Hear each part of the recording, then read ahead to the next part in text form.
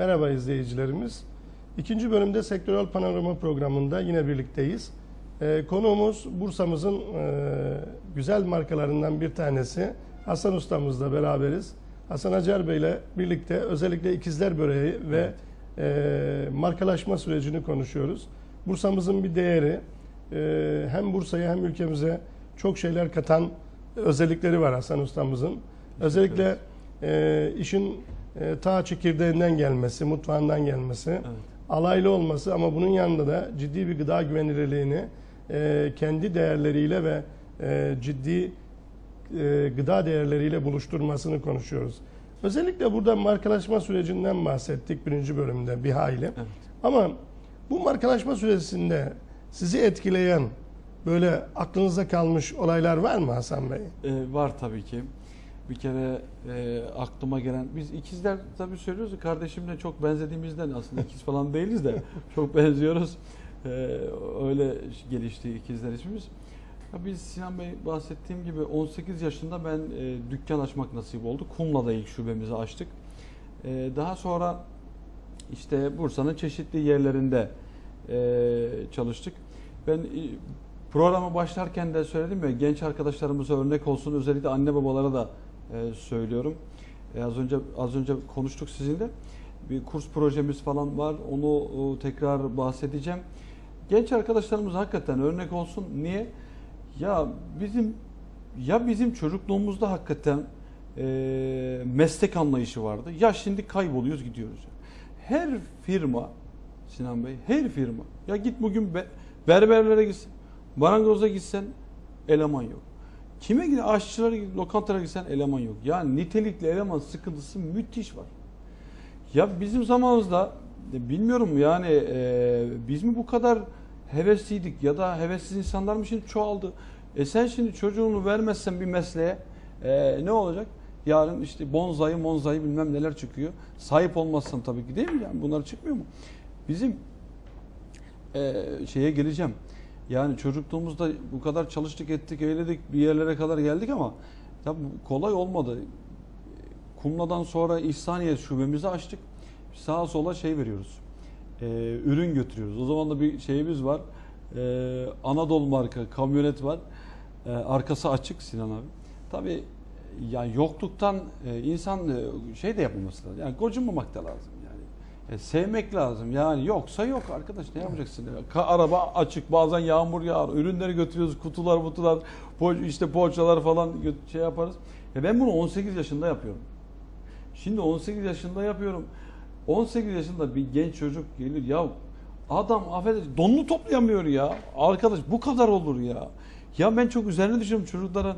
Mutlaka efendim yani e, ya anlatırım, izah ederim. Mesleğin, ya meslek bizde öyle derler. Bir altın bilezik gibi derlerdi ya. Öyledir hakikaten öyle yani. Seveceksin. Bir mesleğin olsun. Öyle değil mi? Evet. Hakikaten öyle şimdi yani. Biz o yaşlarda ben okullara yani böyle kolileri arka şeye koyardık böyle işte ürün götürürdük. Efendim yaptığımızı e, işte dağıtırdık sabahlar. Gece çalışırdık. Sabah götürür okullara dağıtırdık falan gelirdik. Ve hakikaten o yaşlarda.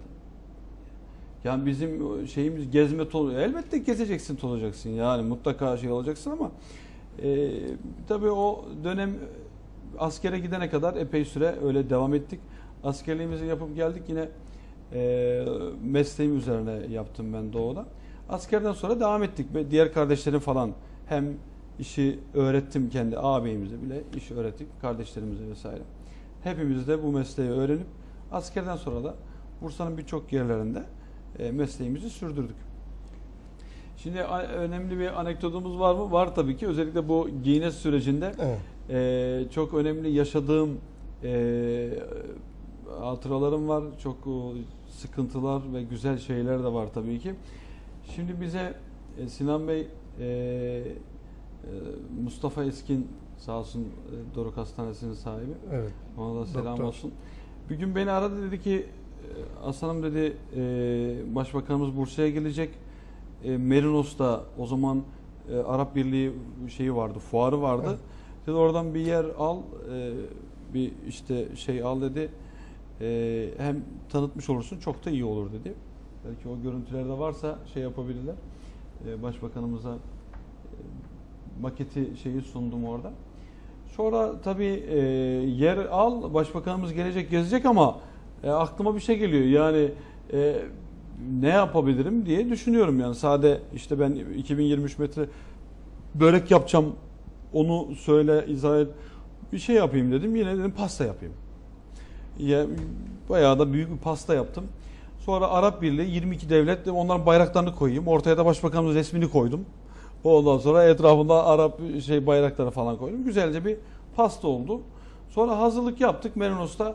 Ondan sonra bayağı aramalar, taramalar dışarı çıkın içeri gibi aradılar falan. Ondan sonra hop dediler işte geldi başbakanımız kesti kurdaleyi içeri girecek demek şey yaptık gitti.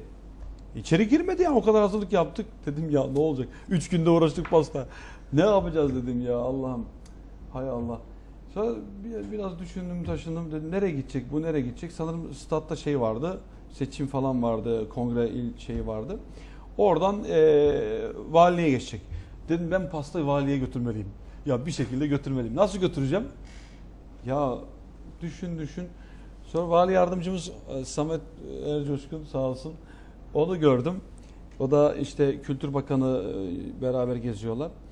Ondan sonra dedim sayın valim dedim pastayı nasıl yapacağız yukarı götüremem acaba nasıl yapalım dedim yani başbakanımız da girmedi ama ha bu kadar uğraştık ya. E, asıl amaç pastayı kesmek ama tabii şeyi de sunmak.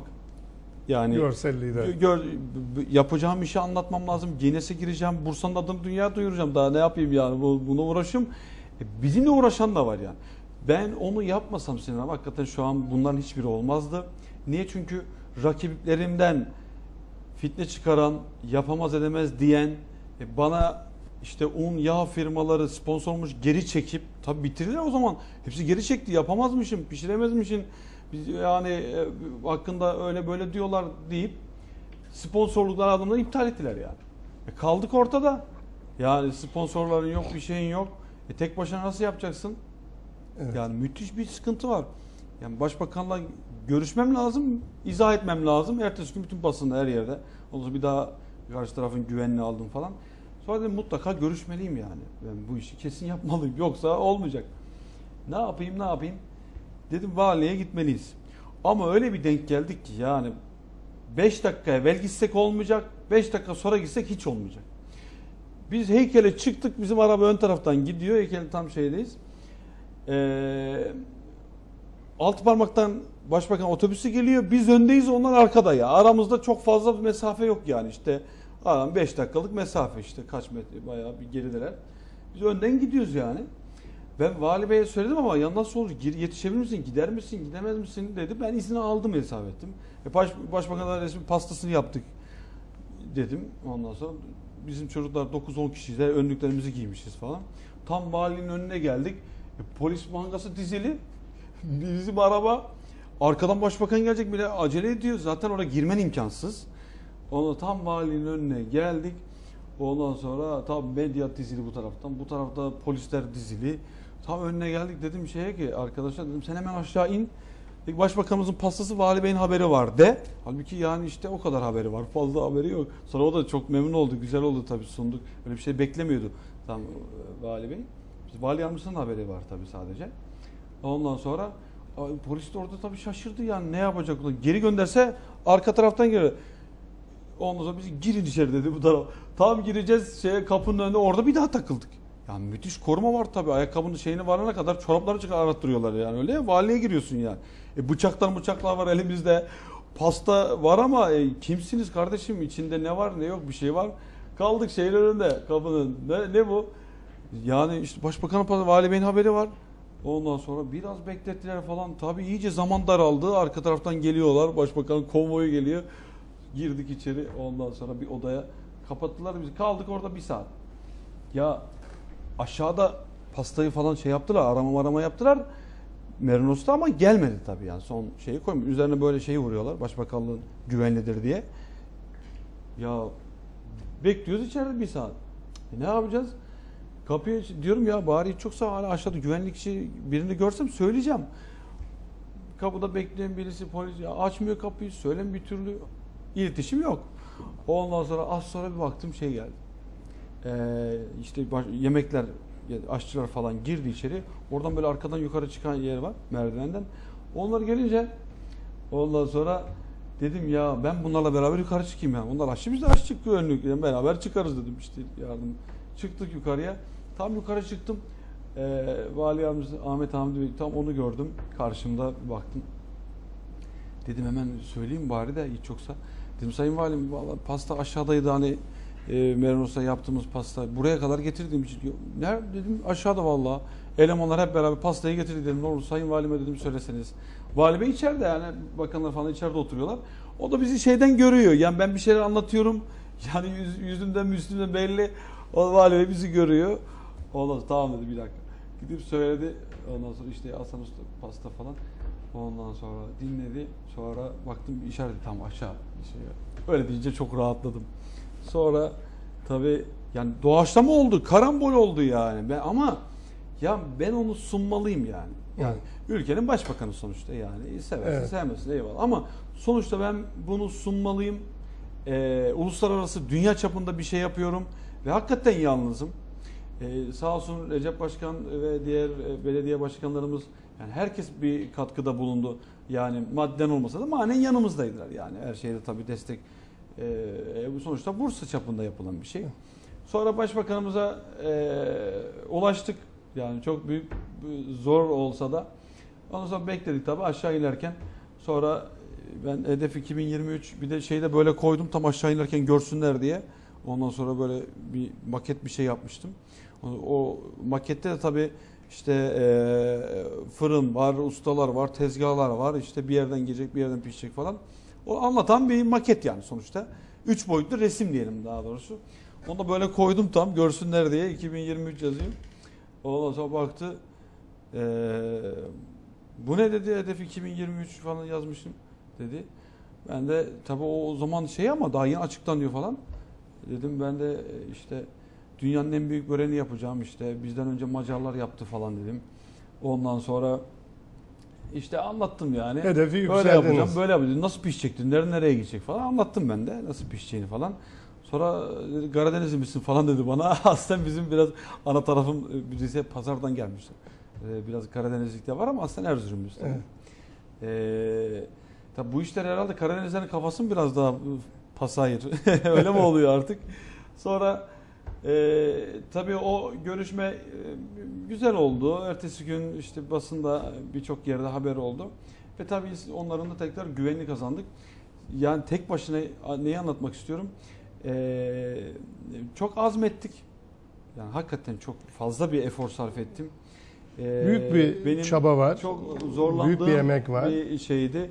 Ve onu da hamdolsun başardık. Ee, sponsorlar tekrar bize itimat ettiler. Ee, anladık ki bizi sevmeyen birileri, istemeyen birileri e, engel olmaya çalıştılar ama e, düşünemediler. Onların büyük, her şeyden büyük Evet, Allah var. bu anınız Ee, bir bize e, ciddi e, e, çok derecede başlangıç olmuş oldu. başlangıç oldu. Sonra tabii biz bir daha gittik. Ee, bu sefer işte ödül aldık yani yine kendisinden, Evet, başbakanımızdan. Ankara'ya gittik. Ee, ondan sonra bizi tabii hatırladı. Yaptınız mı, girdiniz mi, oldu mu diye. Sonra belgemizle beraber gittik. Oradan da sağ olsun ödül aldık. Güzel bir e, anı Evet, olmuş burada, oldu. e, Ee, tabii bu ilk başta Bursa bahsettiğim maket buydu. Ee, üç boyutlu e, resimdi bu. Yani işte biraz anlatmaya çalıştık yapacağız diye. E, Sonra işte Ankara'ya Recep Başkan da oradaydı. E, belgelerimizle beraber tekrar hem de börek götürdük bir de böreğimizi de yedirdik yani Bursa böreğinden de yedirdik yani kendilerine. E, Güzel bir çalışma oldu hamdolsun. Evet bu Guinness, Bursa'mızın e, e, ödülü. Guinness e, logolu e, güzel bir çalışma bu da. E, Salih Şimdi Bey'in çalışması. Hasan ustamız e, bunlar hep güzel gençlere de Evet, güzel bir örnek. evet. Sizin özellikle bu azminiz, bu Evet. gayretiniz e, özellikle buradan bizi izleyen e, gençlere de iş ve istihdam açısından Evet. evet. şu an özellikle yardımcını e, yardımcı olmaya çalıştığınız projeden bahsedeceğiz. Evet, evet. Özellikle e, şimdi Hasan Usta'nın okul projesi e, Hava Hasanova Turizm Meslek Anadolu Evet. Lisesi ile İşkur. beraber İşkur Evet. birlikte Milli Eğitim Kasım Bakanlığı onaylı Onay sertifika sertif- veriyorsunuz. Evet, evet, evet. Yani bundan biraz bahseder Evet. misiniz bu Şimdi e, projenizden? tabii bizi izleyen izleyiciler de yani sana mı kaldı diyen de bu işleri e, çok da duyduğum bir şey. E, Birçok çeşitli kurumlardan bile tabii bize tepkiler de oluyor. Ama ben de şunu söylemek istiyorum. Çok açık yüreklilikle söylemek istiyorum. E, bize mi kaldı? Demek bize kaldı. Madem öyle yapsaydılar, e, yapsalardı hakikaten çok net bir şekilde söylüyorum. E, yani nitelikli eleman az önce söyledik ya hakikaten müthiş bir sıkıntı var. Ya özellikle ben bunu çok yaşıyorum Sinan abi. Ya. Neden yaşıyorum? Ya bazı Bunu yetenekli bütün çocuklar- sektör yaşıyor Var. aslında. Adam mesela o daha askere gitmemiş yanımda çalışan iyi bir pastacı. Çocuk eli de ayağı falan çok daha evvel çalıştırdım. Sanatkar bir çocuk. Ya iyi de maaş veriyor. Ya hakikaten çok güzel de maaş alıyor ya. Yani. Evet. E bu sefer e, ne oluyor? Adam az olduğu için. Ya, ya piyasada adam yok. Hem e, madden sıkıntı yaşıyoruz hem manen sıkıntı yaşıyoruz. Neden? E o da biliyor ki ya adam yetişmiyor. istediği gibi oynuyor. Adam nasıl sanatında iyi. Ya bazen gelir bazen gelmez. Aldığı para işte birçok şeyler duyuyoruz. Yani dedim ben bunu mutlaka geliştirmeliyim. Özellikle bayanlar çok özverili. Kadınlar hem daha yatkın. Yani artık sektör zaten ona doğru gidiyor. Ya şu an ben böreği kadınlara öğrettim. Benim imalathanemde şu an 20 tane kadın var. Hepsi kadınlar yapıyor. Yani bir erkek 100 tane börek açıyor, iki kadın açıyor. Açsın daha iyi. Hem evine yakın, mahallesinde yardımcı oluyorum. Hem katkıda bulunuyoruz. Erkeğe çalışmıyorlar. Evet. Bu beni itti. Yani mutlaka ben bu işi yapmalıyım, bir dernek kurmalıyım. Kendi derneğimiz de var tabii. Onda söyleyeyim Bursa'nın meşhur ürünleri, Burmet Derneği. Onda aslında bahsetmemiz gereken bir şeydi. Burmet, Bursa'nın meşhurları derneği. Meşhurları derken insan değil tabii meşhur ürün. Bursa'da çok meşhur ürün var. Evet, evet. Hepsini topladık. Onda da bir sıkıntı yaşadık. Neler yaşadık? Tabii bir Erzurumlu bana mı kaldı hesabı diyorlar. Evet. Yani böyle tabii adam ayırıcı Olsun. var Biz yani. Böyle Bursa'nın ortak Bursa- e paydaşlarıyız. tabi yani bu onda da çok şeyler yaşadık. Yani öyle ya Bursa Sporu futbolcu hepsi Bursalı mı? Adam Evet. yedi yabancı gavur giyiyor şimdi fır- şey formayı. Önemli olan bir E, tabii. aidiyet. E tabii ki yani biz bunu Bursa'nın bir değerini taşıyan bir şey. Yani ben Bursa'ya kazandırdım şunu ya. En çok Bursa'nın adı geçti ya. Şimdi Sonra şöyle bu derneği şeyi kurduk. Hı. Den, e, okul projemi başlattım tabii ki. Her neyse e, bu tabii e, gençlere yönelik esas çalışma. Yani meslek okulları var ama e, tabii okullarda ancak işte e, bir- bir- belli bir seviyede şey olur yani eğitimleri. Biz tekrar onlara destek olsun diye. E, 10 tane 12 tane ustamla beraber gönüllü olarak ya evet. hem bu çocuklara faydalı olalım, eğitimler verelim. Adam kazan bana e, yukarıdaki okul müdürü, e, turizm otelcilik okul müdürüm e, sağ olsun o da iyi bir a- hocamızdır. Bana yüzde beş şu mesleği diyor, 100 kişiden 5 kişi şu mesleği seçmiyor ya. E, okul var, bölüm var, daha sonra seçmiyor. E neden? Ya adam staja geliyor, iki tane bizde de var mesela çocuklar, üç tane adam. Ayakçı, e tabi ayakçı olur ya. Yani imkanı olacak ki bu çocuklara hep topluca eğitim verelim. Bunları yetiştirelim. Ya gönüllü ustalar bizden öğrenecek tabii yani. Okulda öğrendiğin ancak o kadar olur ya. İmkanları yok çünkü fazla. Yani deniz ya alay hakikaten alaylıyız yani. Bu, bu işin şeyiz yani tabiri caizse. E sonra bu, bu öğrenciler yetişmiyor. E nitelikli eleman nerede bulacağız şimdi? Nasıl yapacağız? Bu işin önüne nasıl geçeceğiz abi? Bak Avrupa'da yüzde, bunu çok araştırdım ben. Yüzde 96'larda dondurulmuş ürün. Evet. Bizde yüzde 5, yüzde 6'larda Sinan Bey yani. Buna doğru gidiyoruz. Dondurulmuş yemek var ya, dondurulmuş baklava var ya. İşte kadınların şimdi özellikle yarın ben- çalışma hayatına E ben ben şimdi ben yarın öbür gün e, adam yetiştirmeyeyim, e, yapmayayım. E, benden sonra gelecek adamlar yapmasın. E, birileri tabii ki e, sektörü ona doğru gidiyor. E, birileri tabii ki dondurulmuş yapacak. Bunu daha geniş ağlar bölecek. Efendim marketlere efendim söyleyeyim sunacak. Sen de yarın gideceksin abi. Kusura bakma. Dondurulmuş Tamam. baklava yiyeceksin. Dondurulmuş börek yiyeceksin. E, bu ona doğru gidiyor yani. Şimdi Hasan ustamız bir de çok önemli bir şey var. Ee, Programımızın da sonuna yaklaştık. Eyvallah. Bu kursumuz da özellikle- başladı. Şu an Ha. 40 kişilik ekiple başladık. Allah nasip ederse bunu çoğaltacağız. İnşallah iş kuruna Ha. desteğiyle. İnşallah bunu yapacağız.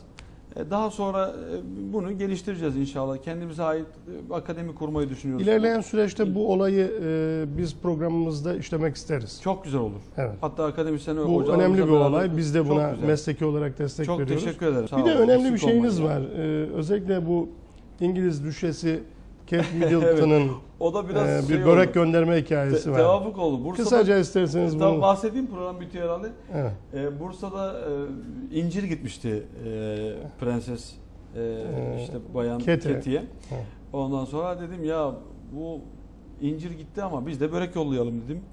Nasıl yapalım? O zaman benim tam belgemin İngiltere'de tabii Londra'da bu Guinness'in tam şeyi. Oradan bize e, belge geldi. Ben basına şey yapmak istedim. Belge geldi ama dedim e, biz tevazzulu adamlarız. İk- ikramı şeyi severiz dedik yani boş göndermeyelim. Onların en sevdiği, kutsal saydığı prenses. O zaman da hamileydi o kadın. Evet. Ondan sonra börek yollayayım dedim. Ne yapayım diye ıspanaklı olsun dedim bari. Hiç yoksa çocuğuna falan araştırdım. Hakikaten zaten demir şeyi var ya Ispanak. ıspanakta. Faydası da olur dedim. Ondan sonra e, karar verdim göndereyim. İşte e, şeyi falan posta şeyini falan ayarladık. Her, yurt dışına gıda gitmiyor çünkü. Çok zor. Bir kutu hazırladık. Ondan sonra ya şeyi gönderdik. Böreği gönderdik. Ispanaklı börek. Dedim prensese efendim Bursa'dan incirden sonra şey de gitsin. Börek de gitsin. Evet. Ondan sonra böreği gönderdik ama tabi adres yanlış saray. Yani şeymiş Galle'deymiş. Ondan sonra e, yanlış saraya gitti diye tabii o ulusalda Habertürk olması lazım. Ana sayfadan Evet. verdi börek yanlış saraya gitti diye. Evet burada şeyde Basında, var. ba- basında tabii soruyorlar yani acaba gidecek mi, yedi mi, yiyecek mi? Yani ne bileyim ben gönderdim. Hadi hocaya sormuşlar dünyanın ortası demiş burası. Nereden biliyorsun? E, ölçün demiş. Yani dedim, ben de onlara öyle dedim. Yani yer mi yemez mi? İyi ki de yememiş zaten 5-6 günde kadın zehirlenirdi. Başımıza bela olur dedim. İyi ki yememiş. Börek gidene kadar tabii bozulmuştur. Güzel bir anı oldu tabii. E, Ulusal'da da çok Evet. yankı buldu.